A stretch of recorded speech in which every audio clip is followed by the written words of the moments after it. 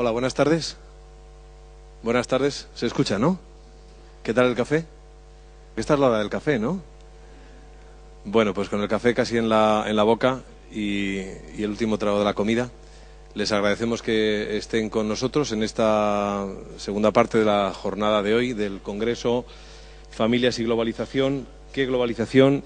¿Qué futuro? Eh, bueno, como tengo el uso de la palabra, me presento. Me llamo Miguel Ángel Oliver y soy conductor de las noticias, Noticias 4, los fines de semana en, en 4. Y tenemos aquí a varios amigos de distintas organizaciones que ahora mismo presentaré, con los que vamos a hablar en esta mesa redonda, después del visionado de una, una cinta eh, dirigida por Mariano Barroso sobre el tema imagen y palabras, imágenes y palabras. Yo creo que pocas, po pocas cosas pueden estimular más nuestra imaginación, las imágenes y las palabras, y muy posiblemente todos tenemos en la cabeza la televisión como quinta esencia de la imagen, aunque es un modelo que posiblemente ya Internet, en todo lo que se refiere también a la ayuda humanitaria, esté, eh, esté dando por finalizado, esté alumbrando ya un tiempo nuevo. Pero no hace tanto que se daba por sentado que las crisis humanitarias se ganaban en la televisión, se ganaban o se perdían en la televisión. A raíz de distintos trabajos que yo he podido realizar también en la universidad, esta era una idea bastante extendida. No sé hasta qué punto sigue teniendo vigencia hoy pero posiblemente de lo que vayamos a hablar, imágenes y palabras, el papel de los medios, el papel de imágenes como las que van a ver, sea de lo que podamos hablar con, con nuestros invitados, que de manera somera, luego ya les daré algún dato más, ya les presento, por Médicos Sin Fronteras nos acompaña Raquel González. Hola Raquel, buenas tardes. La Asociación para la Cooperación con el Sur, las Segovias, está con nosotros Rafael Gosenge. Rafael, Buenas tardes. Del Instituto sobre Conflictos y Acción Humanitaria, el IEK, nos acompaña Jesús García Luengos. Jesús, buenas tardes. Y eh, representando, decíamos, multiempleado en, en ONG, de Sodepaz y Ecologistas en Acción, está con eh, nosotros Rodrigo Fernández. Rodrigo, buenas tardes. Bueno, luego damos algunos datos más. Sencillamente sirvan estas palabras a modo introductorio. Lo que les invitamos es a ver, a ver todos, eh, esta cinta titulada El sueño de Bianca, que es una de las cinco crisis olvidadas. En este caso, El sueño de Bianca eh, la dirigió Mariano Barroso, eh, que patrocinó su grabación, su filmación y posterior distribución Javier Bardem.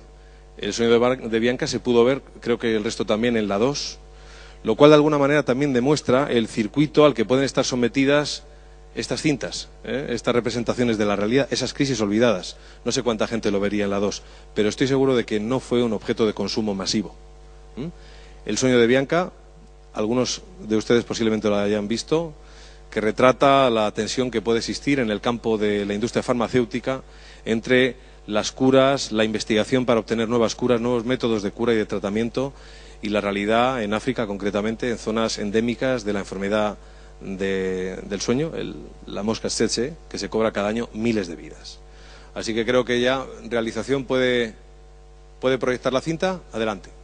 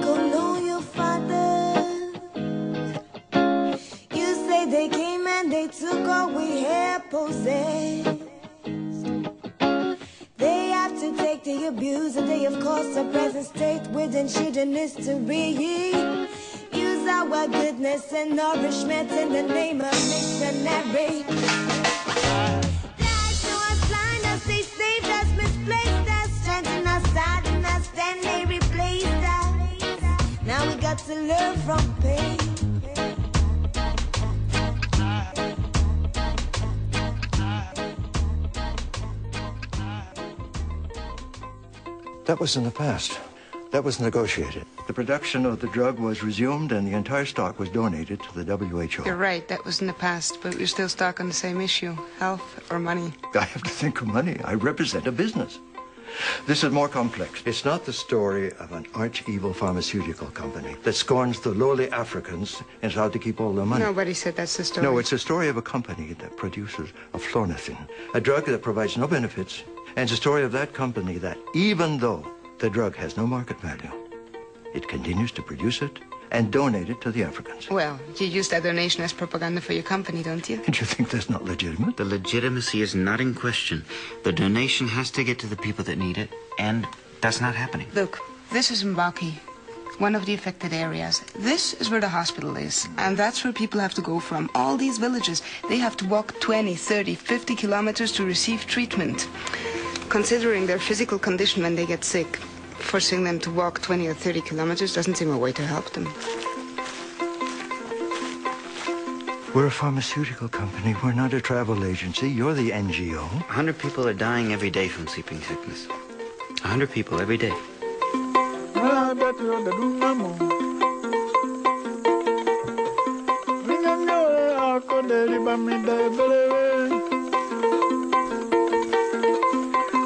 batra kabir bana bebro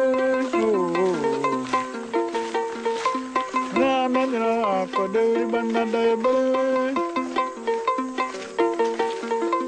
ramendra kabir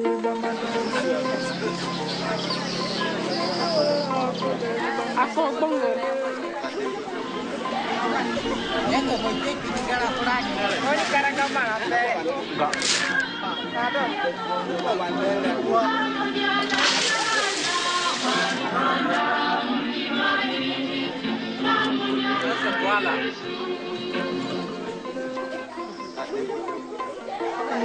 这个是安吉尔，为安吉尔。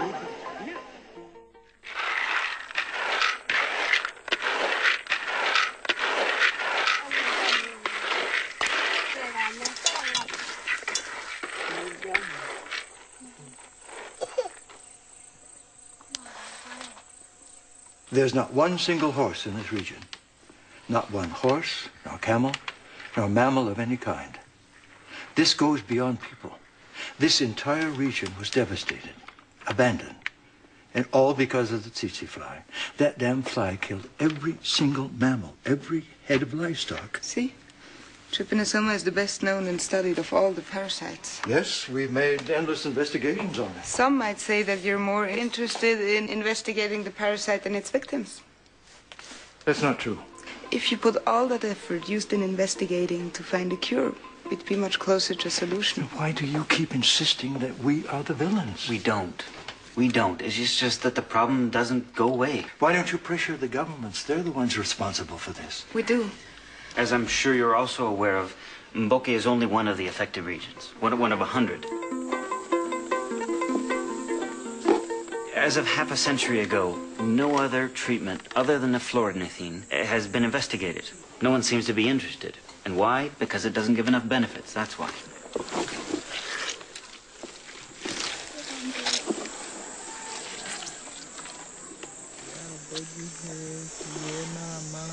afọ apostolante, e que para carrafo agora urina e a dunduco na dunais ingorro.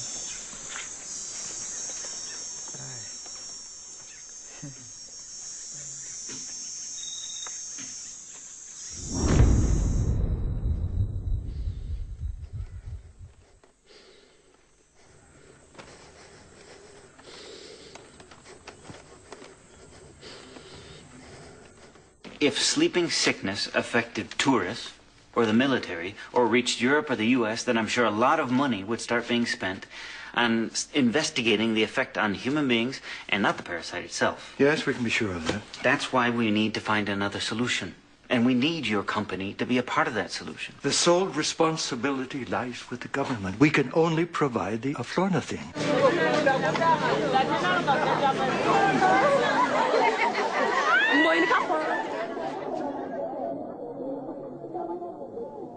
Enggak.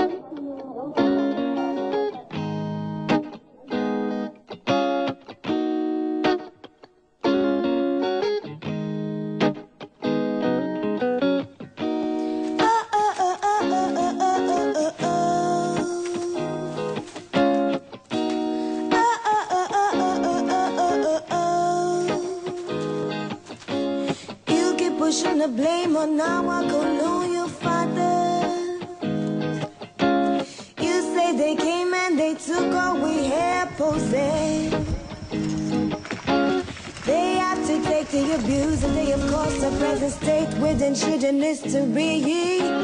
Use our goodness and nourishment in the name of.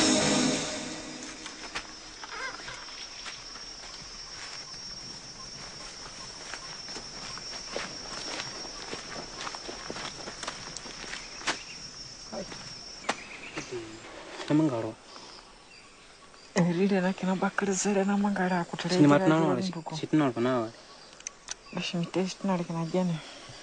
không bên ngã tệ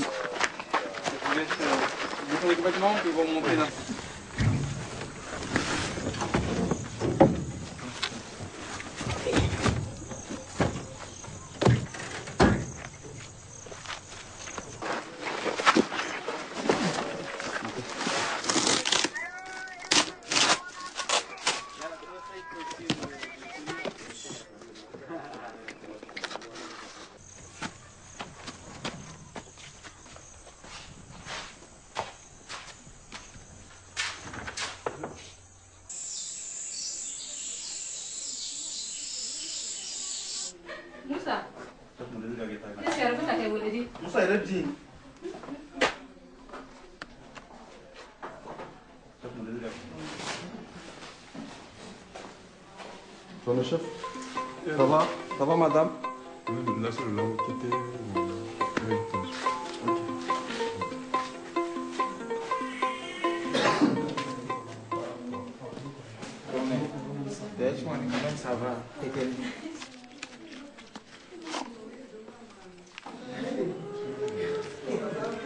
Eflornithine is not the solution. It's a problem to administer it four times a day through a drip over a period of 14 days in a hospital. Now, these people, they have to be accompanied by a family member because they can't get there on their own. They have to bring their own food. We have to find a, a way to accelerate the treatment, simplify it, make it easy to use. If, for example, eflornithine existed in a capsule form, but for that, we need investigation and development to be done. And yes, that's something that the government should be responsible for. But also your company. You have the means to do it. You alone have the knowledge to do it, and you should share that knowledge. I, I would think that you would want to. You know, the work you people do in the field is admirable. I could even become a member of your organization. But this is a company, and companies look for benefits. It's just that simple. I think there's room for everything for your company to receive benefits and for people to be cured. We're doing everything we can. Now, we all know that's not true. It's not enough. It's not enough because nothing is ever enough. We can't be held responsible for curing sleeping sickness. This is an issue far too great for us to undertake. You know how many millions it costs to develop a drug. Without government aid, we shouldn't have to bear the costs of investigation and development simply because we produce the drug. Apart from that, it's out of our hands. The disease is out of your hands, but the remedy isn't. Where do we draw the line? Uh, when do we stop sitting around negotiating with people's lives?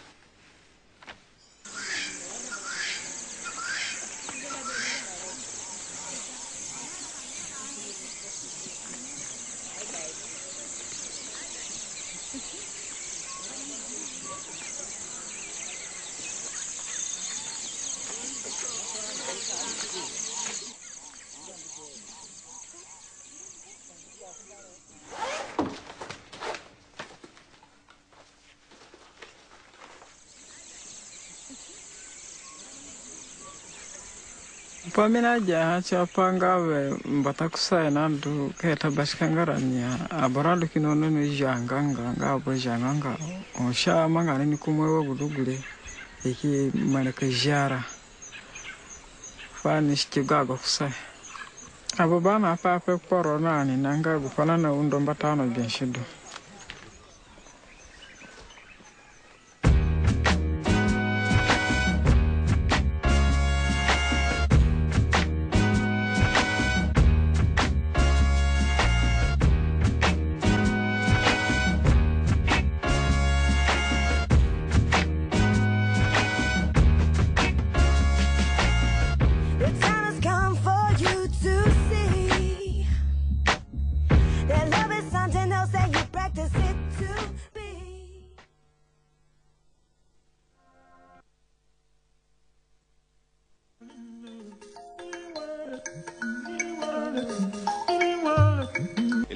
escaso conocimiento que eh, de manera general tenemos acerca de ellas. Es quizá el mensaje que nos lanza el sueño de, de Bianca. Eh, es la película que tomamos como base, como referencia para la conversación de esta tarde. Como les digo, está representando a Médicos Sin Fronteras Raquel González. Médicos Sin Fronteras es una organización bien conocida, médico humanitaria, nació en el 71, tras la guerra de Biafra, Premio Nobel de la Paz en 1999, con un objetivo en la acción humanitaria, salvar vidas y aliviar el sufrimiento con el fin de proteger la dignidad humana y restaurar la capacidad de las personas para tomar sus propias decisiones.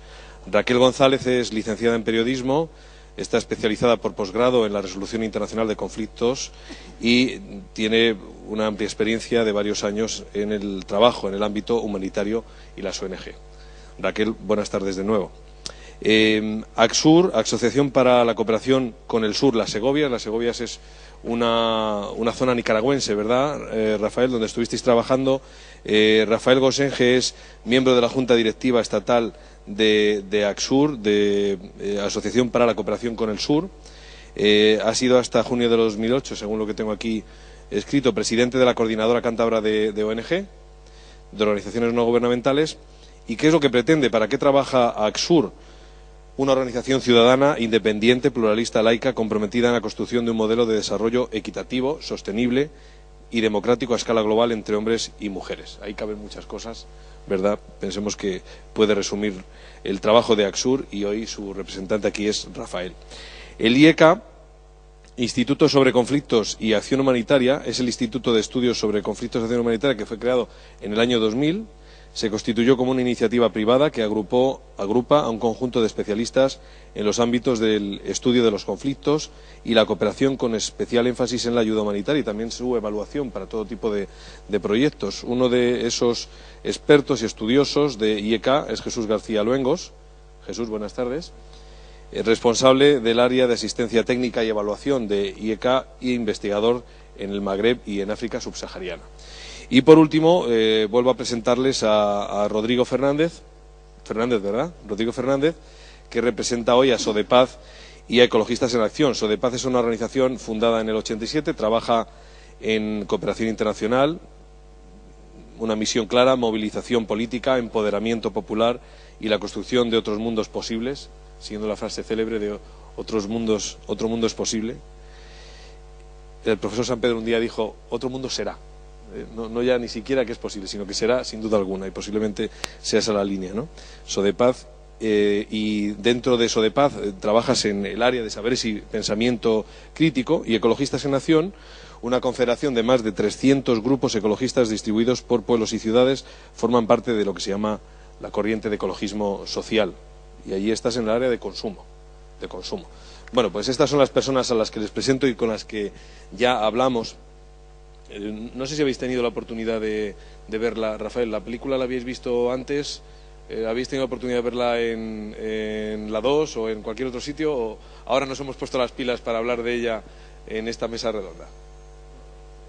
Ya la, ya había visto, eh, además forma parte, la película completa Invisibles, que vamos a proyectar precisamente el jueves próximo dentro de, de un ciclo de cine solidario, coincidiendo con la Semana contra la Pobreza que se está celebrando en estos momentos y entonces en Santander dentro de ese ciclo de cine solidario está prevista la proyección de Invisibles.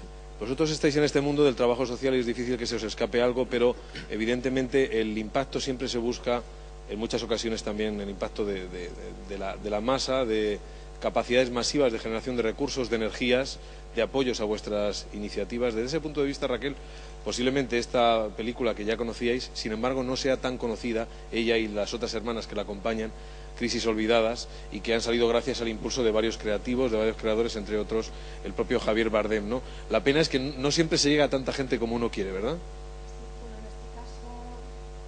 A la suerte de poder contar con Javier Bardem como productor y contar con directores de la talla de... No se oye. A ver, ahora Raquel, ¿Se oye ahora? un poquito mejor. ¿Se oye? Bueno, Ahí está. ahora, ahora sí se oye. Como decía, bueno, tuvimos la suerte de contar con directores como Isabel Coiset o como Mariano Barroso, que son directores que sí tienen un nombre, y tuvimos también la fortuna de que este documental ganó un Goya, con lo cual sí se pudo ver en cines, eh, más allá de verse solamente en la 2. Pero en definitiva, como tú bien apuntabas antes, lo que, de lo que se trata de alguna manera es de llegar, eh, llegar hacer llegar a la, sociedad civil, hacer llegar al público esos mensajes, esas ideas, esos discursos que igual nosotros tenemos muy interiorizados porque trabajamos en esto y porque nos gusta esto, pero que luego sales a la sociedad civil y, y hay bueno, muchas problemáticas que no se conocen. El darlas a conocer es parte de nuestra responsabilidad y parte de, de nuestro trabajo y seguro que aquí mis compañeros bueno, tienen también mucho que decir. Raquel, como tienes el micrófono justo en tu solapilla izquierda, si me tomas a mí como referencia se te va a escuchar poco, pero en cambio si tomas como referencia al patio de butacas te van a escuchar un poquito mejor. ¿eh? Yo me lo voy a intentar arreglar para bien. la próxima que se, oya- oiga mejor. bien, ¿eh? La verdad es que la imagen y la palabra no siempre son bien utilizadas, a veces son infrautilizadas y se desea más uso y otras veces se usan y se usan mal. ¿no? En este caso vemos un tratamiento creativo, novedoso, gracias a- al impulso solidario, social de, de varios creadores con iniciativas como la vuestra, pero quizá, Rodrigo, no siempre la imagen es bien utilizada, ni siquiera la palabra, pero la imagen es un, es un campo de batalla en el que se insiste además mucho, ¿no? porque ha habido una larga historia de, abusos con la idea de concienciar que al final han terminado provocando graves trastornos. ¿no? Sí, sí, generalmente la narrativa mediática de, de conflictos, en este caso locales, eh, es algo bastante complejo. Te pasa, te pasa lo mismo. ¿Qué has hecho? A ver, Ponerlo en medio. habla al micrófono ahora, a ver. Ahora sí, bien. Mismo problema. Eh, decía que un poco la narrativa de este tipo de, de contextos locales, de problemáticas locales, del África, en este caso de la salud en África Negra, suele llegarnos ah, de forma sobresimplificada, estereotipada y demás.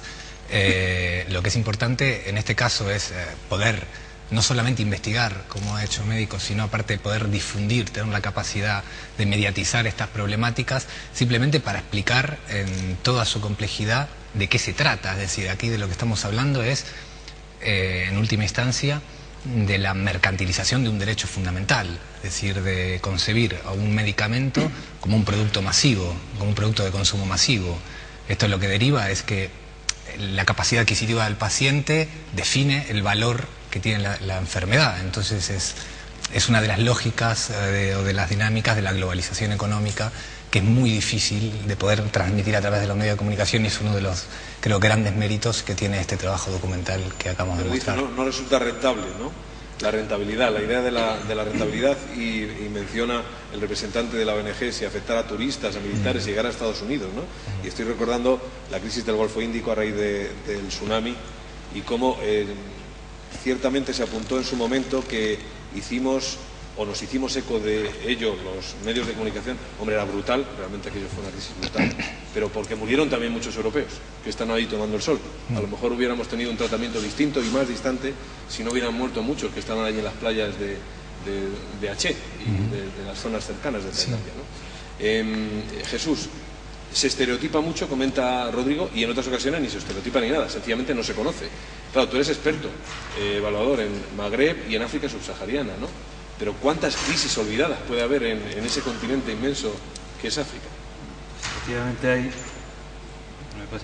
hay muchas crisis olvidadas, de eso saben muchos Médicos Sin Fronteras, ¿no? que anualmente publica una relación de las 10 crisis eh, mm, bueno, más importantes y olvidadas y, normalmente, si no es mayoría, eh, al menos la mitad están en, la región subsahariana. Y, ahí hay un punto importante que, señalar y seguir subrayando, ¿no? o sea, la importancia de este tipo de ejercicios eh, audiovisuales y la importancia en los medios de comunicación en, dar a conocer ¿no? a los ciudadanos eh, este tipo de enfermedades olvidadas, de crisis, de conflictos olvidadas, porque en definitiva también se trata de que vivimos en un mundo globalizado muy complejo y que inevitablemente, por una cuestión de atención de los medios de comunicación, de disposición de fondos, tú acabas de citar el tsunami, cuando se concentró la atención mediática y de respuesta ciudadana con donaciones y de las agencias internacionales, multilaterales y de todo tipo en el tsunami, eso supuso eh, y vino en detrimento del olvido y de restar fondos a otras crisis eh, y a otras eh, poblaciones muy necesitadas. Al final volvemos también a la cuestión del doble rasero, ¿no? doble rasero de las víctimas en función de su pertenencia a un entorno económico o a un entorno de país con más o menos capacidades y doble rasero en muchísimas políticas que desde aquí hacia el sur eh, estamos aplicando continuamente y que es uno de los grandes desafíos también en, en el marco de la globalización. ¿no? Muchas veces los medios de comunicación luchamos contra nuestra propia tendencia a estandarizar y a estereotipar, ¿eh? que es la mención que ha hecho Rodrigo y, que siempre nos alude con, con mucha razón. ¿no? Eh, la cuestión es si no consiguiéramos generar una especie de código comprensible, a veces estereotipado de la realidad, ¿qué capacidad de comprensión tendría el público en general? La propia película, te quiero preguntar Raquel, en un momento determinado lanza como pregunta, que en realidad es un venablo, ¿no? Eh, es que somos siempre los malos, las farmacéuticas. Es una forma también de simplificar. O tenemos muy clara conciencia de que las farmacéuticas, por ejemplo en este caso, son siempre las malas.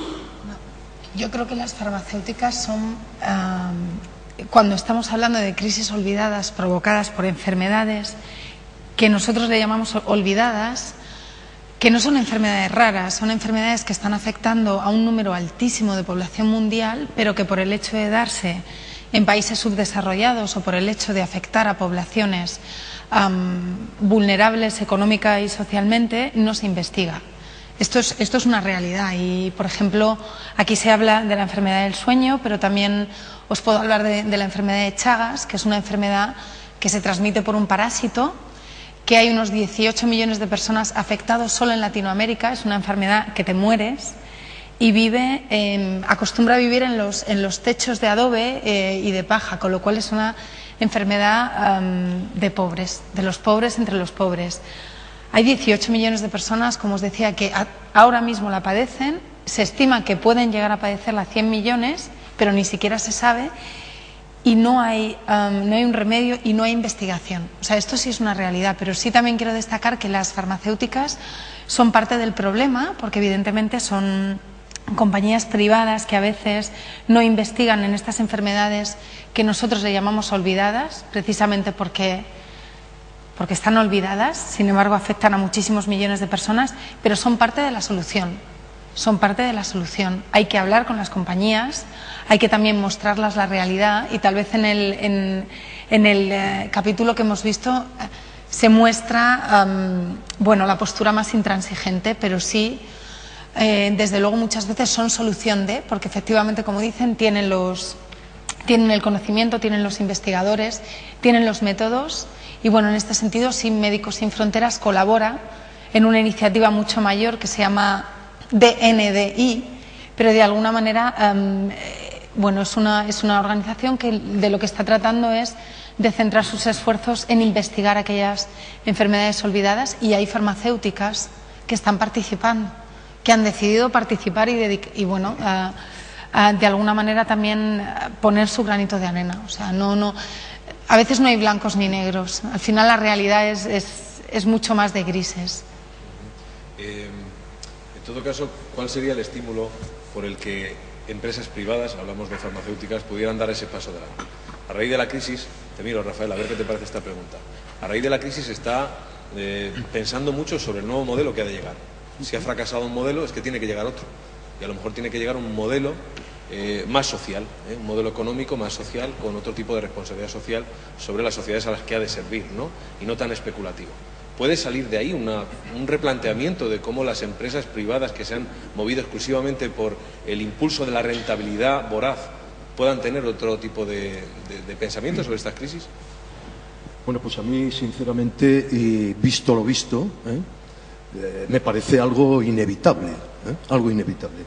Eh, estábamos hablando que efectivamente, bueno, cuál es eh, la, parte problema que tienen las industrias farmacéuticas, y yo creo que lo ha expresado muy bien Raquel, pero no nos llamemos a engaño. Ellos actúan efectivamente desde su óptica, la óptica en la que estamos inmersos. Es decir, este modelo efectivamente ultraliberal, la maximización del beneficio y por lo tanto todo lo demás. Pero también aquí hay una responsabilidad, eh, bueno, pues colateral de los poderes públicos. Estas empresas, lo estamos viendo ahora con el tema de la crisis, eh, toda la crisis financiera, eh, llegados a este punto acuden efectivamente a los gobiernos a que les solventemos, pues, eh, o a que les solvente la papeleta a los gobiernos con el dinero de todos, evidentemente, que es con, con lo que funcionan efectivamente los gobiernos y los estados. Y entonces yo creo que eh, los gobiernos, en este, quizá en este nuevo modelo, pues tendrán que asumir eh, bueno, pues ciertas cuotas de responsabilidad, de exigencia, para evitar que situaciones como estas, de estas enfermedades olvidadas y muchas otras situaciones de crisis que hay, que hay por el mundo, pues bueno, puedan en alguna medida coartar, o bueno, poner, poner algunos diques, poner algunas contenciones a, esos objetivos estrictamente economicistas de, de las grandes compañías, sean farmacéuticas o de otro tipo. ¿no? Yo creo que es inevitable este. Rodrigo, Jesús, ¿qué opináis sobre esta, esta línea de conversación?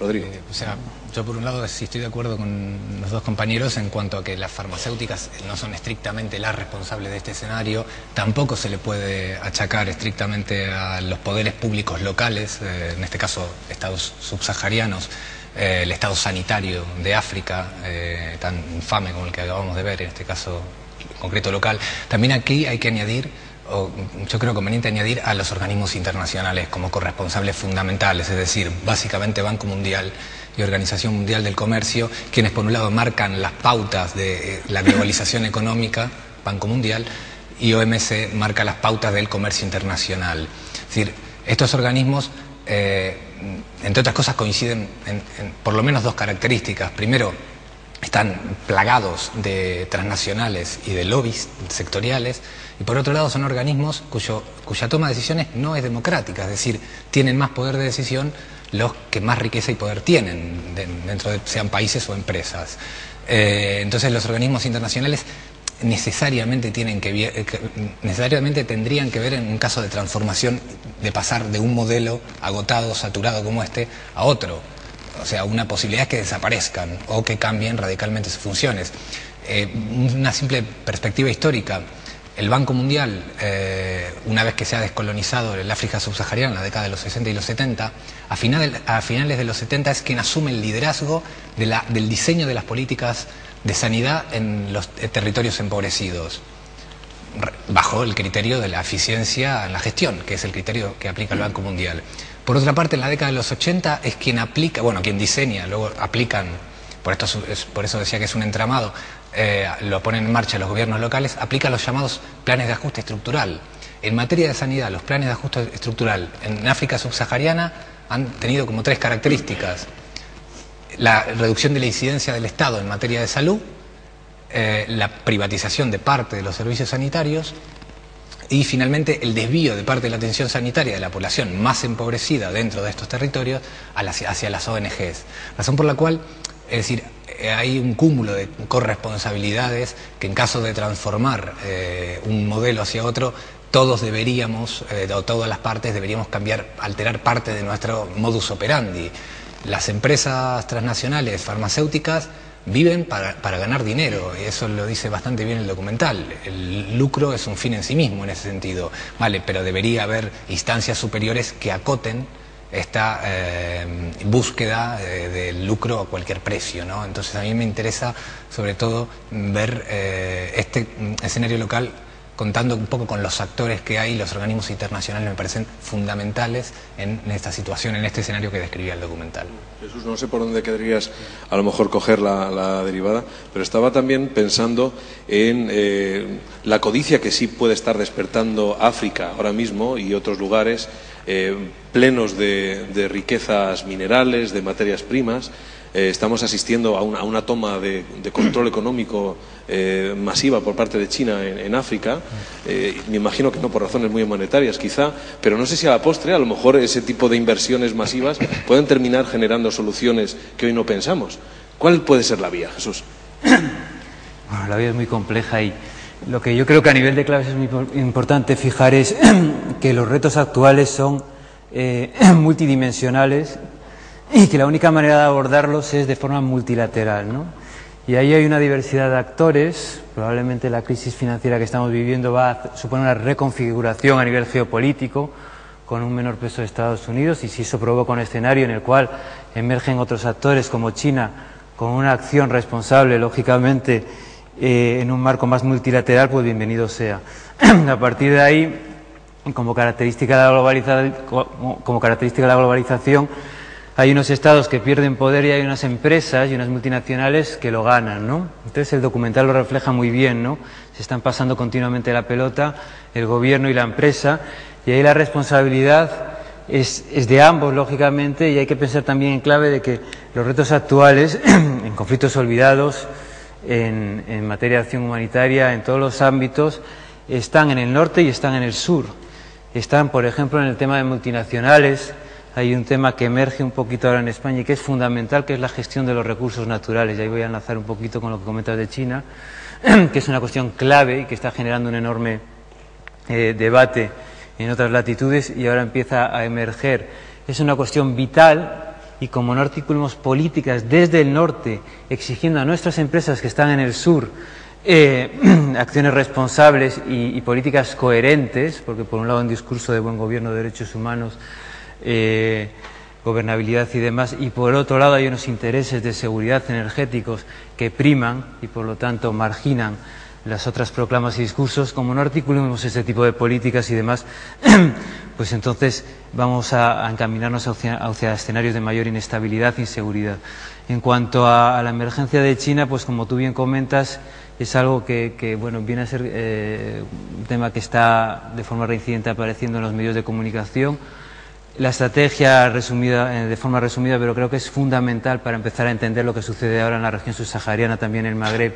Esa presencia ha supuesto, es una presencia multidimensional, pero el motor de esa política exterior es la necesidad ingente que tiene China de recursos energéticos, petróleo fundamentalmente minerales, y a partir de ahí desembarca con una política crediticia de, de- de grandes volúmenes de, créditos y que está suponiendo también todo un debate en cuanto a generar espirales de deuda que ya venían un poco paliadas por parte de instituciones financieras internacionales. Y esa emergencia de China, digamos, que supone también una reconfiguración geopolítica muy interesante en torno a lo que supone, conectado con élites gobernantes locales, el refuerzo, eh, las estrategias que están eh, planteando de cara a las instituciones financieras internacionales, hacia los gobiernos occidentales, y el gran debate está generando, es tan contundente y tiene, te- está teniendo tanto impacto, el gran debate es que está eh, siendo muy, muy criticada y por otro lado hay otros actores y hay otros eh, foros en los cuales se considera que es como la última oportunidad que tiene África subsahariana para iniciar una senda de desarrollo. ¿Puede dar un horizonte nuevo o puede ser un nuevo y más brutal expolio?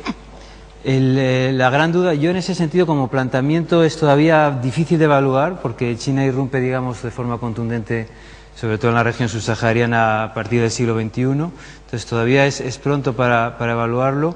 Está, y es cierto, sobre el terreno construyendo infraestructuras eh, que necesita la región subsahariana a un ritmo realmente impresionante.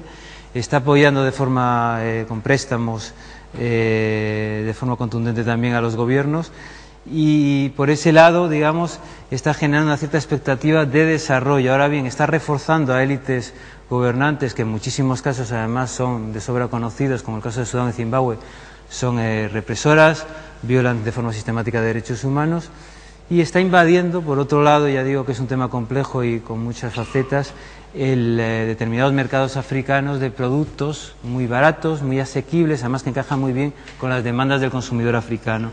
Con lo cual está, está, por otro lado, generando muchas tensiones, por ejemplo, en el textil en Sudáfrica, con manifestaciones de 60 o 80 mil eh, personas, sus políticas, por ejemplo, de derechos laborales en Zambia.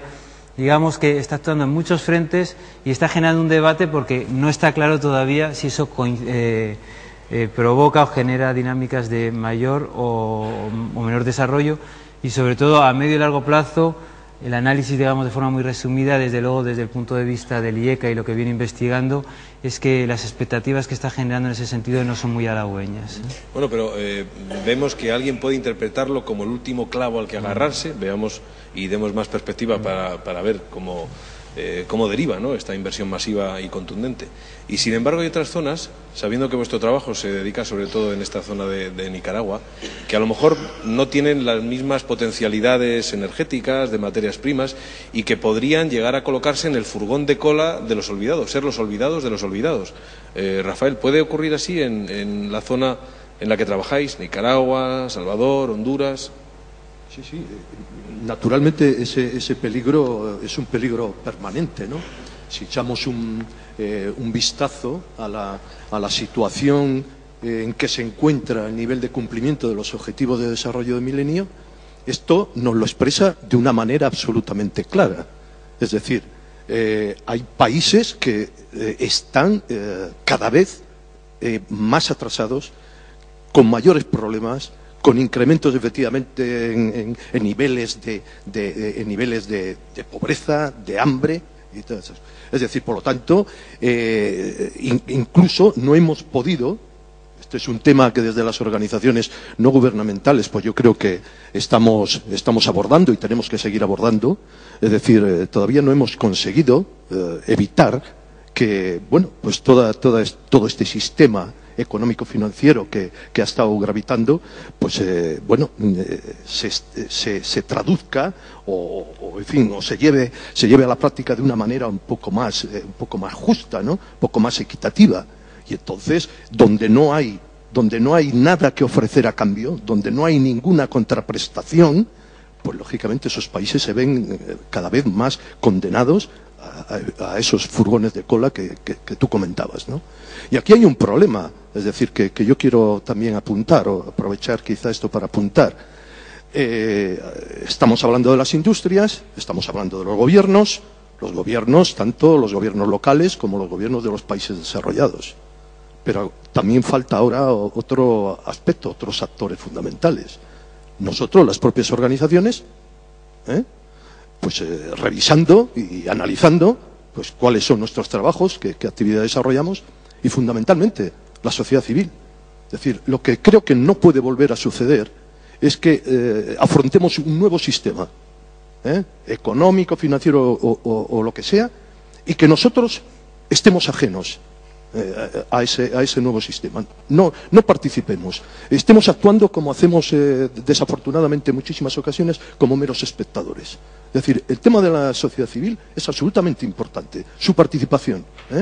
Y en ese sentido, yo que llevo muy poco tiempo en este tipo de cosas, me parece fundamental. Es decir, una labor, efectivamente, de, activismo. ¿eh? De, activismo, pues, eh, en el mejor de los sentidos, activismo político, de movilización, porque es fundamental que participemos, insisto, en ese nuevo proceso. Eh, Nos llegan algunas preguntas ya de las personas que asisten a esta conversación con vosotros, pero dejadme que os lance alguna, alguna más eh, por mi parte. Y voy a hacerlo a Raquel y a Rodrigo, porque representáis, en este caso pienso, Rodrigo, en Ecologistas en Acción y Médicos Sin Frontera, son marcas ya muy bien establecidas en el imaginario mediático, muy reconocibles. Eh, mm, tenéis muchas horas de vuelo, sabéis cómo comportaros, qué buscar, qué dar a los medios de comunicación cuando los medios de comunicación los buscan en un caso de crisis humanitaria o, crisis ecológica, ¿no? Eh, de tal manera que en ocasiones los voluntarios o trabajadores sociales o enviados por estas asociaciones comprobamos, lo digo como medio de comunicación, terminan convirtiéndose casi en enviados especiales de los medios de comunicación. Son los reporteros sociales totales. ¿eh? Van bien pertrechados con eh, aparatos de grabación, cámaras de vídeo, eh, cámaras de fotografía, enlaces vía satélite. Si no nos dierais eso, sabéis no, no digo que sea exactamente el vuestro caso, pero sí sabéis de qué estoy hablando con grandes organizaciones. Sabéis que muchas veces no compraríamos, utilizando un término repugnante, pero ustedes me entienden, no compraríamos esa información. ¿No habéis tenido esa sensación que tenéis que convertiros, haciendo una pirueta terrible, casi en, prolongaciones, en terminales de los medios para conseguir penetrar en los medios si no queréis morir en el olvido del que estamos hablando? Bueno, la verdad que en, en terreno es, es complicado y toda la parte tecnológica, como comentabas, de, satélites, de la necesidad de llevar un material. Dentro de Médicos Sin Fronteras, Médicos Sin Fronteras tiene dos patas y uno es lo que es la asistencia médico-humanitaria pura y dura, siempre acompañada de testimonio. Eh, Médicos Sin Fronteras fue fundada por periodistas y por médicos, entonces sí que tiene una vocación de testimoniar, de denuncia, de explicar y de contar eh, qué está pasando en aquellos sitios donde nadie llega. Y si se me permite, pero bueno, siempre decimos que normalmente llegamos donde, donde casi nadie llega. Entonces, para Médicos Sin Fronteras sí tiene mucha importancia llegar a, a los medios de comunicación. El, el- el acabar convirtiéndonos en el, en el último eslabón o el, el hacer un canje, pues sinceramente no lo sé hasta hasta A veces qué- es el juego. Claro, hasta qué hasta qué punto, ¿no? Pero sí, por ejemplo, con el documental, em, un poco la, la idea que, que surgió para hacer el, documental em, fue precisamente surgió de esa necesidad de testimonio y de esa necesidad de contar realidades olvidadas y lo que se intentó es dar la palabra a los que saben contar historias, a los que de verdad saben contar historias, ¿no?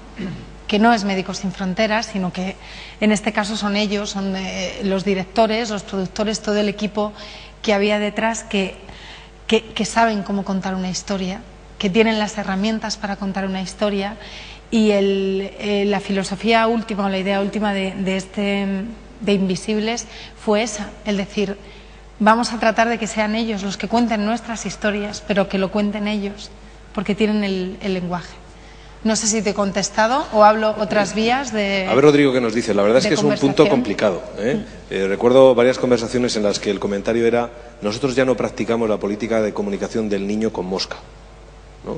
Es decir, de la imagen terrible, tremendista. Y la política de comunicación, porque todos necesitáis un plan de comunicación, es importantísima para vuestro trabajo. ¿Por dónde van los tiros? Es decir, realmente cómo, cómo penetrar en los medios de comunicación. Cómo nosotros, y ahora hay una pregunta de una, de una persona que directamente se, se dirige a nosotros, a mí como medio de comunicación, nos sensibilizamos más o menos, porque podíamos terminar ah, mm, representando el papel de la farmacéutica. Oye, mire, nosotros somos medios de comunicación, no somos una ONG. Nosotros estamos aquí para la audiencia, para cotas de audiencia y rentabilización de nuestro espacio publicitario. También, no para contar, hacer viajes, como dice el tipo de la farmacéutica, ¿no? Rodrigo, ¿qué nos cuentas? Nosotros también, de- tanto desde eso de paz como desde Ecologistas en Acción, nos- como decía Raquel, nos dedicamos a eh, estudiar y a tratar de transmitir, de denunciar ciertas realidades concretas. Lo que nos pasa en muchos casos, al momento de intentar mediatizar una problemática, es que nos eh, enfrentamos a los financiadores de los medios de comunicación. Es decir, te doy dos ejemplos, os doy muy- dos ejemplos muy concretos. La campaña Ropa Limpia, que es una organización que se llama CETEM, o la campaña Gran Superficie, que ha hecho Ecologistas en Acción. Dos documentales muy, muy bien hechos, muy bien documentados, pero uno tocaba a las grandes textiles. Eh, una de ellas es el principal mm, inversor en publicidad de todo el Estado español. Hablas del corte inglés. Eh, exactamente. Eh, o la empresa de Amancio Ortega, por ejemplo, Inditex. Eh, ¿Quién iba a poder, de algún modo, mm, masificar esa? ¿Qué medio de comunicación público-privado iba a poder sacar ese documental? Entonces ahí ya tenemos una primera limitación. ¿no? Vamos a, eh, por más que po- podamos sacar algún producto en concreto, audiovisual o de otro tipo, que denuncia una realidad concreta, eh, si toca a los financiadores lo tenemos que sacar en pequeños foros, ¿no? Internet, que en ese sentido somos ilimitados, pero desde ahí ponerlo en prime time en un medio privado depende de lo que hable. Entonces ese es un, un problema que nos hemos encontrado sistemáticamente, ¿no? Sobre todo ambas organizaciones en las áreas que yo trabajo, trabajamos temas de, eh, estamos en el observatorio de las multinacionales, temas de publicidad y demás. Claro, estamos de algún modo hablando de eh, la fuente de financiación principal de los medios de comunicación y ahí nos encontramos en algunos casos con un tipo de relación hasta dialéctica, es decir, no podemos, o el medio de comunicación, y entendemos eh, el carácter lucrativo que pueda tener un medio de comunicación privado, no puede ir en contra de sus propios financiadores. Es decir, lo mismo, el mismo razonamiento que hacía el farmacéutico que hacías tú recién en cuanto a que yo soy un medio de comunicación y eso es legítimo en cuanto a que es una organización con ánimo de lucro. Su misión es el lucro, entonces puede tomar esas decisiones legítimamente. Para nosotros eso es un obstáculo, siempre. Siempre tenemos que ir por los pequeños foros, sobre, sobre todo si tocamos a Inditex o al Corte Inglés o a Coca-Cola. Aunque eso parece que responde a un modelo que no sé si está dando sus últimos estertores, no sé si van a ser realmente un mundo nuevo, ¿no? Bueno, Pilar, educadora y voluntaria de Cruz Roja, en Cruz Roja, eh, pregunta en general a, a la mesa, hace una reflexión. A medida que la globalización avanza, parece que los objetivos del milenio, cumplimiento de los objetivos del milenio, queda más lejos, es mayor la brecha entre las diferentes partes del planeta. ¿No creen que es paradójico? ¿Cómo creen que se podría resolver esta contradicción? Jesús, a ver qué dices. Bueno, yo creo que es fundamental. eh, eso es un ejemplo típico en la región subsahariana, ¿no? Estamos siempre actuando, eh, eh, parcheando, actuando conforme van surgiendo las emergencias. Entonces, romper esas dinámicas, desde luego, es muy difícil y, desde luego, los retos y los desafíos plantean exigencias a medio y largo plazo, lo cual se contradice muchas veces con los ciclos políticos, que son a corto plazo, y eso tiene un montón de implicaciones que conocemos todos. A partir de ahí, fundamental, y, en esa línea de, investigación y trabajo estamos en el IECA, intentar articular políticas preventivas. Pero esto es consabido lo que pasa y está en los foros, pero no terminamos por activarlas de forma adecuada. ¿no? Eh, eso creo que es algo fundamental. Y fomentar todas aquellas políticas que contribuyan a paliar las desigualdades, ¿eh? desigualdades sociales, culturales, económicas, que están en la base y en el centro de eh, los conflictos y de las tensiones sociales, de la inestabilidad y la, de la- falta de seguridad. Y en ese sentido es muy paradigmático que, por ejemplo, en España hay- hayamos reaccionado lanzando una mirada hacia África y en concreto hacia África subsahariana a través de la elaboración de un plan África, cuando fue un documento que se elaboró eh, eh, bajo el calor, digamos, de, de la llegada en pateras de inmigrantes subsaharianos a, a las costas de las Islas Canarias. ¿no? Entonces tenemos un déficit histórico enorme, y hablando de la región subsahariana, es muy claro, y a partir de ahí hay que empezar a reflexionar. Entonces, claves, entiendo, políticas preventivas y políticas de cooperación al desarrollo, con el gran fracaso, digamos, en muchos ámbitos y en otros no, hay que apuntar éxitos a la cooperación al desarrollo, pero en general el balance no es muy positivo, que digamos, en cuanto a ir a la raíz eh, de eh, este tipo de conflictos, de problemas, de tensiones sociales. Raquel, ¿quieres apuntar algo? ¿O Jesús? Eh, perdón, Rafael. Rafael. No, eh, vamos a ver, hay naturalmente que se está produciendo eso, yo ya lo señalaba en la intervención anterior, y paradójico relativamente. Es decir, pero yo creo que eh, una, de, una de las connotaciones, de las características de, de este sistema de globalización en el que hemos estado inmersos, parece que todavía estamos inmersos, eh, es precisamente, bueno, pues eh, se basa eh, en el beneficio eh, obtenido de la pobreza, ¿no? Y por lo tanto, es decir, eh, no, no es paradójico que a un mayor nivel de crecimiento pues se estén dando situaciones, se esté ampliando más esa brecha y se estén dando situaciones eh, más dramáticas y, eh, y hay datos que apuntan a que, bueno, eh, seguir, de seguir este, este ritmo, pues el año 2015, bueno, pues es una auténtica quimera, ¿no? Podemos estar hablando de alcanzar esos objetivos de desarrollo milenio, por otra parte mínimos, objetivos mínimos, pues no sé, dentro de 150 años, ¿no? Hay, se apuntan soluciones en los propios objetivos de desarrollo del milenio. El problema es que no se cumplen. El problema es que no se cumplen. En primer lugar, no se cumplen con algo que es, eh, que es fundamental. Y ya sé que también es muy socorrido, ¿no? Pero las propias cantidades en ayuda, ¿eh? acordémonos todos del, del 0,7, ese es el objetivo, y bueno, pues todavía estamos aproximadamente en torno a la mitad. En torno a la mitad. Y países, pues bueno, con que, bueno, grandes superpotencias que están por debajo incluso de esa, de esa mitad, ¿no? ¿Eh? Países como ese gran país, Estados Unidos, ¿eh? que dicho sea de paso, pues bueno, hace aproximadamente un mes o, o algo así, se pedía pues un, un plan, ¿eh? para un plan sanitario para, para las capas más vulnerables de, la población de, ese, país, que, todavía hay muchos millones de personas que están fuera del sistema sanitario, no hay un sistema universal como el de España, y se pedía alguna aportación para este tipo eh, que se evaluaba en torno a 4.000 millones de dólares y sin embargo eso no fue eso no fue aprobado ni por el Congreso ni por el Congreso ni por el Senado. Y sin embargo pues ya hemos visto lo que nos ha enseñado la historia hace aproximadamente una semana o dos no 700.000 millones para efectivamente eh, paliar la situación crítica de esas grandes entidades financieras que ellos mismos han llevado efectivamente a la quiebra. Hay que modificar las condiciones de- del comercio mundial. No puede ser que los países desarrollados estemos apoyando determinados productos que lo que están haciendo es empobreciendo a esos eh, países que son eh, que podrían ser pues competitivos en ese tipo de cosas. Es decir, les estamos cortando todas las posibles vías de desarrollo. Y lógicamente, si no modificamos esos comportamientos, pues desde luego eh, el panorama es muy desalentador. Sí, todos los gobiernos españoles han apoyado las políticas de cuotas europeas que están eh, pues, pues cercenando las posibilidades de crecimiento en África, por ejemplo, las cuotas lácteas.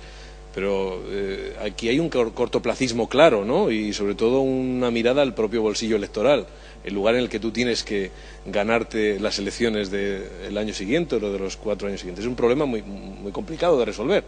Desde luego no, no veo yo a ningún gobierno o partido político con una tendencia suicida, ¿no? Decir, bueno, me la voy a jugar, dan igual los granaderos o los agricultores de aquí de Castilla y León con tal de salvar a no sé qué o no sé quién de un país africano. Este es el problema, no, no podemos ver más allá. Pero, sin embargo, el modelo mediático creo que se está rompiendo gracias a, a Internet y a las redes sociales que está generando. Y ahí me gustaría plantearos algo porque estamos en una mesa que se llama Imágenes y Palabras y cada medio de comunicación históricamente se ha comportado de una manera. No sé, Raquel, ¿qué nos podrías decir? ¿Quién ha respondido mejor o si de manera equilibrada todos han sido igual de malos o igual de buenos? La prensa, la radio, la televisión. Pero ahora está Internet y eso genera una red social con otra profundidad y otras dimensiones, ¿no? con otras posibilidades. Antes quería comentar a, a lo que comentabais de por qué no salen ciertas noticias o salen sobre todo en información internacional. Bueno, la información internacional, por un lado, depende de la política geoestratégica del país y entre otros factores está la sensación de cercanía. Nunca hemos sido informados de lo que pasaba en Mauritania hasta que Mauritania se ha convertido en algo que afecta a la sociedad española porque vienen inmigrantes, por ejemplo. Quiero decir, es muy difícil identificarse con lo que está pasando en Yemen cuando no hay una- unos lazos históricos como puede haber con Latinoamérica, culturales. Quiero decir, la cercanía es un factor muy, muy importante a la hora de qué, qué información internacional nos llega y de qué países. Hablo de cercanía física o cultural. Eh, cercanía de que ocurra un tsunami y porque hay muchísimos turistas europeos, norteamericanos, esto sale. ¿Por qué? Porque nos afecta, porque nos toca, porque es parte de nuestra sociedad. los afectados son parte de nuestra sociedad. Y luego hay otra cosa, que es lo que llaman el efecto CNN, que de eso seguro que, eh, que tú sabes muchísimo más que yo, que en información internacional, porque la capacidad de, de los periódicos es limitada, ah, no se puede estar en todas las partes del mundo, lo que al final acaba saliendo en la CNN y algunos otros medios que les llaman medios de comunicación guía o de referencia, es lo que sale la mayor parte de las veces en el resto de periódicos a nivel mundial, periódicos y televisiones sobre todo. Cuando no hay imagen de los conflictos, ese conflicto no existe. Y lo que no tiene una, una imagen no existe. Y lo que no existe no se conoce. Y ahí es donde están las crisis que nosotros llamamos olvidadas. Eh, ¿Cómo lo combatimos? Eh, lo combatimos. Bueno, pues nosotros todos los años tenemos un informe que se llama Las 10 crisis olvidadas. Precisamente esas que ningún medio de comunicación cubre, eh, sea prensa, sea radio, sea televisión. No por desidia, no por mala profesionalidad, simplemente porque hay unos intereses geoestratégicos que, bueno, que nos toca mucho más lo cercano. Y eso es lo que le interesa a la gente y eso es lo que también le interesa al político. El político está luchando por la sociedad española, en este caso si hablamos del gobierno. Am, la gente de Darfur puede tener una situación desesperada, pero lo que a él le toca, lo que toca en este momento es lo que nos rodea. O sea, empezando desde, desde lo pequeño. Se han unido para salvar el mundo, aunque Bueno. para salvar su mundo, ¿no? Claro. Los países occidentales. Es su esquema, su, su forma de, de vida. ¿no? Entonces, bueno, yo, yo creo que tenemos que ser también realistas de en qué marco nos movemos. Y es que hay un marco geoestratégico político que condiciona muchas de las acciones. Y, una, y, y, por ejemplo, lo comentabais antes, la, si la Organización Mundial del Comercio tiene determinadas leyes internacionales que regulan el comercio, eh, bueno, hay ciertas leyes que no van a permitir que lleguen aquí los plátanos de Venezuela. ¿Por qué? Bueno, pues porque si llegan la, la gente de Canarias, el del plátano de, de Canarias se queda sin que comer. Y ahí somos proteccionistas. Bueno, ¿qué queremos? Pues proteger. O sea, aquí hay una tarta de recursos limitada y nadie está dispuesto a soltar un poquito. Esto Una tarta de mercados. de mercados y de Rodrigo, ¿quieres recursos. apuntar algo en esta línea? Eh, sí, un poco complementar la idea de Raquel, eh, también de Rafael, en cuanto a mm, la absoluta inter- interdependencia que existe entre norte y sur. Más allá de afinidades culturales o cercanías físicas, es decir, si existe un sur en- empobrecido es porque hay un, norte enriquecido, es decir, la tarta es una sola. Eh, y en ese sentido me parece eh, fundamental destacar eso. Por otra parte, eh, recién Raquel hablaba de la OMC, la Organización Mundial de Comercio, que es quien fija las, las normas, como decía, proteccionistas, es una liberalización selectiva, ¿no? En función de me convenga o no, y como tengo más poder de voto si soy rico que si soy pobre, puedo poner en marcha ciertas iniciativas. Eh, lo, que ha- lo que hacen estas normas de la OMC es si- sistematizar el comercio internacional norte-sur como un trasvase de recursos, razón por la cual no es que no facilitan el desarrollo, sino que lo, lo limitan, lo impiden esencialmente, al decir, eh, tú eh, me tienes que vender la materia prima al precio que fije Londres y Wall Street, yo genero el valor añadido a eso y lo vendo a 100 veces más. Es decir, estoy de algún modo expoliando sistemáticamente a un, a un conjunto de territorios en nombre de una norma, de una liberalización de mercados que es selectiva. Según me convenga, la voy aplicando. Y eso me parece interesante como añadido. Eh, mm, alguien me lanzaba una, una pregunta, eh, Miguel Ángel Olivera, el director de informativos de la 4, que en todo caso yo tendría que transmitirse al director de informativos de la 4, que se llama José María Izquierdo. Yo soy el responsable de los informativos de fin de semana. ¿Podéis elegir las noticias que contáis o por el contrario os viene desde arriba la orden de no contar lo que no interese a una mayoría de oyentes? O de, en este caso, de telespectadores. Mm, yo aquí veo un poco el, eh, el estereotipo de la mano negra, ¿no? La mano negra que es la que decide qué se cuenta y qué es lo que no se cuenta. Y yo creo que las cosas no son así. Pero tiene que mucho, que mucho que ver con cuánto cuestan las cosas, qué presupuestos tenemos. Creo que la crisis va a cortar muchas salas informativas, porque la información en televisión cuesta dinero y porque hay una lógica imperante de la rentabilidad de tu negocio que si no consigues sacar adelante directamente pues te vas a la ruina y entonces pues tu negocio se, se cae, ¿no? Yo quiero darles algunos datos sobre el coste de la información, un concepto del cual he trabajado muchos años en la radio, nunca tuve conocimiento, nunca me pareció cercano, no me preocupaba y sin embargo tiene un coste, indudablemente. Si trabajas en prensa, cuesta el papel, cuesta la tinta, cuesta el desplazamiento. En la radio también hay una gran red de emisoras, sea casi cual sea la emisora nacional de la que estemos hablando, pero realmente tiene una extensión geográfica importante. Pero yo hace tres años llegué a la televisión y entonces dije, una conexión con Hong Kong, no, imposible, nos cuesta 1.500 euros. Eh, bueno, pues eh, quiero una conexión directo con Zamora, no, no, eh, nos cuesta 900 es que cuesta dinero. Hacer conexiones en directo, que es algo a lo que nos tienen habituados otros telediarios, otras emisoras, otras televisiones que a lo mejor tienen otro potencial económico y que sin embargo también este mismo esquema lo tienen en su cabeza, cuesta dinero. Cuesta dinero hacer desplazamientos, cuesta dinero porque hay pactos de rodaje, quedarse en un sitio para cubrir una información, somos trabajadores, tenemos nuestros derechos, los defendemos y los exigimos. Y eso al final tiene una consecuencia sobre el tipo de información que das y cómo los das. En relación con las grandes crisis que normalmente están más allá de nuestras fronteras, los lugares olvidados, esos a los que solamente llega Médicos Sin Frontera o Cruz Roja o, o no sé qué tipo de organizaciones, que realmente gracias a vosotros podemos verlo, ¿no? Si quisiéramos hacer un envío, el envío de la señal por televisión es caro. Cada día se puede abaratar más. Y en esto Internet nos está favoreciendo mucho. Se está encareciendo por unos lados, pero Internet, a través de envíos que se llaman de FTP, por ejemplo, puede facilitar un envío baratísimo de la señal de una grabación que se ha hecho en un lugar tan distante como Pakistán. Pero tienes que tener un sitio donde haya por lo menos un cibercafé, desde el que poder enlazar. Quiero con esto decirles que no es eh, el asunto de que alguien diga no vamos a hablar de la mosca HC. No creo que sea esa la cuestión.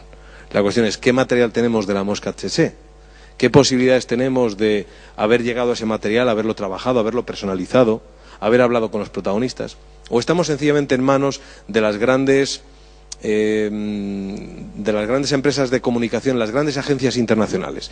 Y esto sí que tiene que ver con una distribución geoestratégica. Associated Press o Reuters están en unas partes del mundo y no están en otras están donde les interesa a los países que tienen estas grandes agencias internacionales. EFE llega a unos sitios y no llega a otros. Y tener un servicio de EFE internacional o nacional o del corazón cuesta dinero. O sea, no es que tengamos un canuto infinito por el que entra toda la información que se procesa en el mundo. Llega lo que contratamos y lo que contratamos cuesta. Y esa mentalidad de lo que cuesta la aplicamos al relato informativo. Y la arquitectura informativa tiene que ver, y tiene mucho que ver, aunque pueda parecerles una perversión, con cuánto cuesta y qué tipo de informativo quiero hacer en función de lo que quiero gastarme o de lo que puedo gastarme. Y ahí sí, no en los contenidos, pero ahí sí, que mi maestro armero dice, te has pasado de presupuesto. Tenemos un departamento que se llama producción. La televisión está normalmente eh, regida por, por, tres departamentos básicos, realización, información, hablo de la televisión informativa, ¿eh?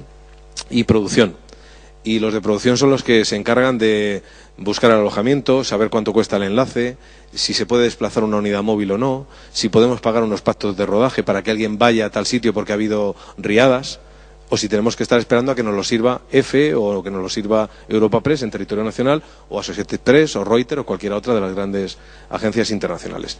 Y cuesta dinero. Entonces a mí me parece una, gran perversión, pero yo cada día, cuando trato de construir el edificio de mi pequeño humilde informativo, tengo que pensar cuánto cuesta mi informativo. Es algo que yo no puedo, no podría, sería una irresponsabilidad por mi parte mm, querer hacer un informativo sin tener en cuenta el coste. Primero porque no me dejarían hacerlo no en cuanto a contenidos. Nadie se mete con mis contenidos. Cuando digo mis, mm, les pido disculpas, con los contenidos del informativo en el que yo trabajo y, que tengo el, orgullo de dirigir. Pero es verdad que no hay nadie que llame, no, no, de esto no, de esto no hables, eh, esto no interesa. Bueno, hemos hablado también de determinadas empresas que en un momento determinado pueden convertirse en un elemento eh, un poco, eh, en fin, puedes cocer, ¿no? Hablar del corte inglés o hablar de grandes patrocinadores, hablar de empresas de automoción, por ejemplo, que meten riadas de dinero gracias a las cuales los medios de comunicación nos financiamos. Y sin ellas, pero no se hacen las cosas de manera tan descarada. Pero sí, me atrevería a decir que son pocas las veces en las que se ha hablado mal del corte inglés. Será por algo. ¿No? Ciertamente. Pero bueno, quería yo colocarles un poco en su cabeza, no sé quién ha formulado la pregunta, algo que a mí me acompaña es un debate que se me ha colocado en la cabeza, me ha provocado un auténtico shock. Yo en la radio no pensaba lo que costaba la noticia y ahora sí. Y a la hora de construir pienso cuánto cuesta cada ladrillo del edificio informativo que construyo. Y no puedo utilizar determinados materiales. Tan sencillo como eso. Bueno, quería ahora reconducir eh, la conversación y no sé si tiene alguna otra eh, pregunta que, formular pero estamos hablando de un eh, simposio, unas jornadas sobre familias y globalización. No sé si porque me toca, que yo soy padre de tres hijos, no, no sé si hay más padres por aquí, seguramente que los hay, padres y madres. Aquí en esta mesa, ¿So- ¿sois padres, madres? Eh, vaya, yo no sé realmente cómo estamos educando a los hijos en este mundo global, cómo estamos preparando a los niños de cara a algo tan habitual en nuestra sociedad occidental como es el consumo, ¿no?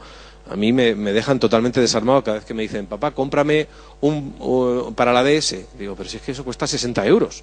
O sea, no hay una conciencia de, de lo que cuestan las cosas. Eso que yo decía con respecto a las noticias, no tenemos conciencia de lo que cuestan las cosas. Y no sé realmente si de una manera más global, en relación con el mundo que está más allá de lo que ven, del mundo olvidado, si no tienen conciencia de lo que cuestan las cosas aquí, que van a tener conciencia de lo que se sufre y de lo que hay allí. ¿no? Me, me parece que no, no tenemos realmente ninguna guía para educar en este sentido. Y estamos hablando de familias y globalización. Algo quería también meter como cuña sobre esta cuestión. No sé, Jesús, ¿qué, qué podrías decir? Sí, bueno, estoy totalmente de acuerdo contigo. es decir, eh, bueno, si al- algún desafío hay en- a nivel de, o afrontando el tema de familia como entidad además en crisis, a resultas en buena medida también de procesos de la globalización y con una globalización, con una crisis perfectamente patente ya, eh, es el desafío de conformar a ciudadanos, que son nuestros hijos, a jóvenes, eh, con un conocimiento y una conciencia de esa interdependencia y esa conexión absoluta que hay entre el norte y el sur. ¿no? De ahí la importancia de documentales como el que hemos visto, de ahí la importancia del tratamiento informativo que muchas veces se echa de menos por un lado, eh, la dificultad y el peligro que conlleva las imágenes, ¿no? Que no es un discurso que pueda explicar, sino que a veces esa selección y a veces esa manipulación, pues, pues tiene grandes riesgos. Y por otro lado, el explicar un poquito más eh, cuál es la complejidad de, las situaciones, eh, cómo están viviendo efectivamente otros ciudadanos que no es que los tengamos ya allí, sino que están aquí y que son también ciudadanos españoles.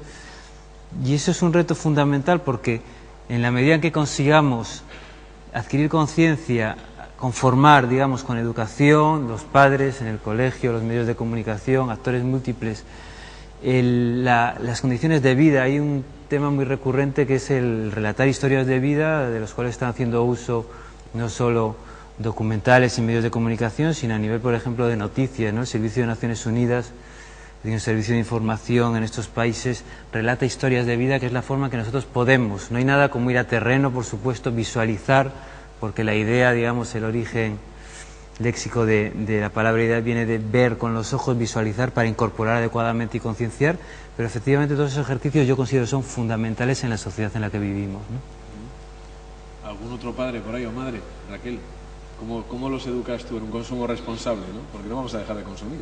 Es más, hasta los gobiernos de hoy en día, hasta Zapatero, recuerdo el congreso en el que terminó diciendo consuman, ¿no? como forma para salvar el edificio. ¿Cómo les educamos en un consumo responsable y sostenible?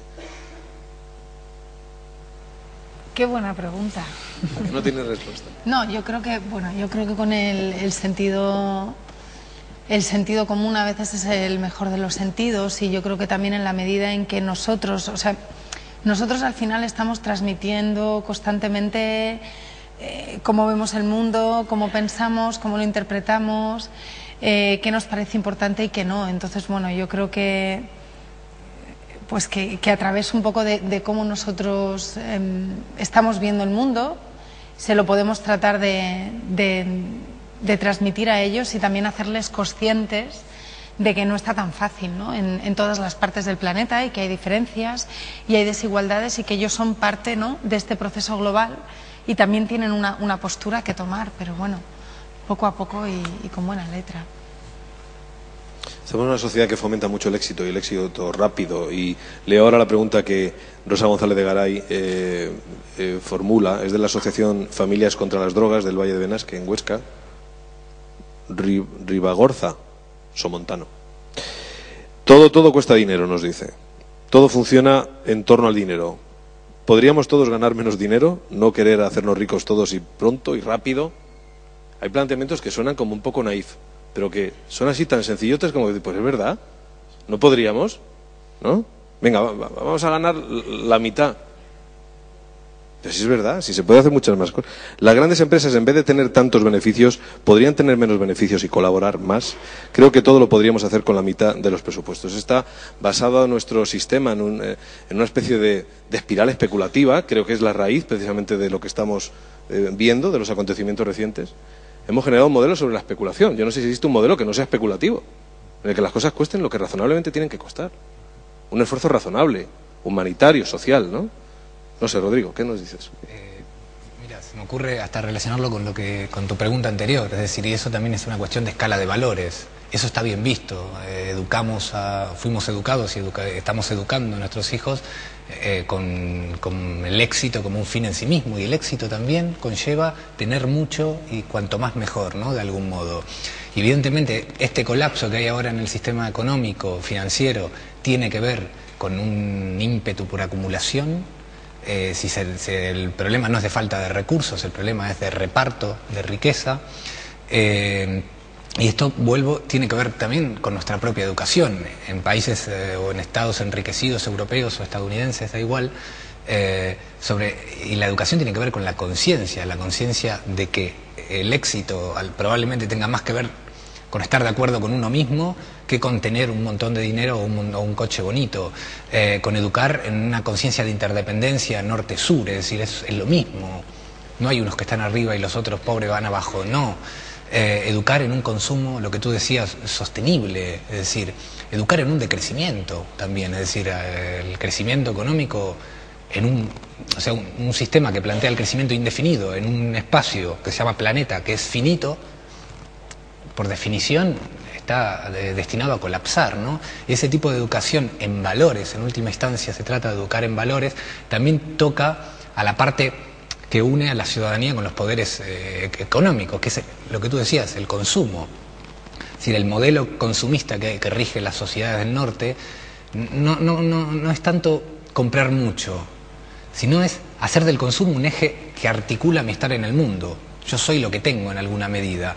Y eso también tiene que ver con la transformación del sistema educativo, eh, desde las familias, por supuesto, y ahí coincido absolutamente con Raquel, con nuestro ejemplo, eh, los que son padres o los que seamos en algún momento, en nuestro ejemplo práctico, pero también desde el sistema educativo público. Es decir, es fundamental también esta transmisión de que yo soy un ciudadano por ende tengo que ser consciente de, de dónde estoy, de qué mundo. Y esto estoy hablando de una conciencia práctica y de una conciencia activa. Activa en el sentido, no solamente me vale el reconocimiento de esta problemática, por ejemplo, norte-sur, sino una conciencia activa en el sentido de también promover al- que el educando o la educanda, eh, promover el compromiso, la acción, la decisión para la transformación. Es decir, también lo que hacía referencia Rafael, la movilización de la persona por ser parte de una sociedad, activamente parte de una sociedad en la que sus actos son biopolíticos, de algún modo todos los actos que hacemos tienen consecuencias políticas, en este caso políticas. Y ese tipo de conciencia activa, crítica y, y de algún modo de conjunto, creo que forma parte fundamental de, de las transformaciones mm, que podemos promover los movimientos sociales y las organizaciones sociales hacia la sociedad civil. Rafael, ¿querías apuntar algo más? Vamos a ver, yo eh, he querido y he creído entender el sentido de la, de la pregunta que se formulaba, pero no, ganar menos no, eh, por favor. En todo caso, en todo caso reequilibrar. A los mileuristas, desde luego, no. en todo caso, reequilibrar un poco más, ¿eh? Es decir, lo que es reequilibrar, primero reequilibrar un poco más. Lo que no puede ser es que existan, pues bueno, las diferencias abismales que existen de, de- salarios ¿eh? cuando nos dirigimos, bueno, a ciertas categorías eh, de ciertas entidades, de ciertas empresas, pero ganar menos no. Estamos en, estamos también en la era de los mileuristas, ¿no? ¿Eh? Hombre, yo creo que, cre- yo creo que está bien. y después repartir también un poco más. Yo creo que sí que podemos adaptar otras formas de consumo y yo creo que lo que podamos ahorrar por ahí, yo creo que es muy interesante que viajemos. Así, eh, seguramente eh, conocemos algunas de las crisis olvidadas, conocemos algunas de esas situaciones que en alguna ocasión hemos, hemos oído a través de los medios de comunicación y nos permite efectivamente entrar en contacto con otras realidades ¿eh? de esos países de- del sur que tanto tienen que enseñarnos también. Bueno, pues mm, ya nos acercamos a las 6 menos 20. Eh, ha comentado Rodrigo eh, en una frase que si lo hubiera dicho Descartes pues podría ser histórica, somos lo que tenemos, ¿no?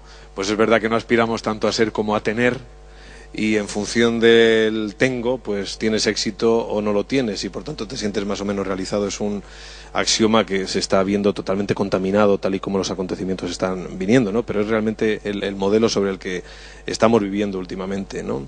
Eh, yo recuerdo una época en la que los españoles cambiábamos de coche cada 12 años o cada no sé cuánto, ¿no? Y pensaba que el modelo norteamericano de que cambio de coche cada tres era algo que era fruto de la locura consumista de esta gente, ¿no? Eh, pues estaba muy cerca. Tanto es así que ahora se nos ha caído ese modelo y de repente el castillo de naipes parece que se viene abajo porque el consumo de coches, oiga, pero a usted el coche le va.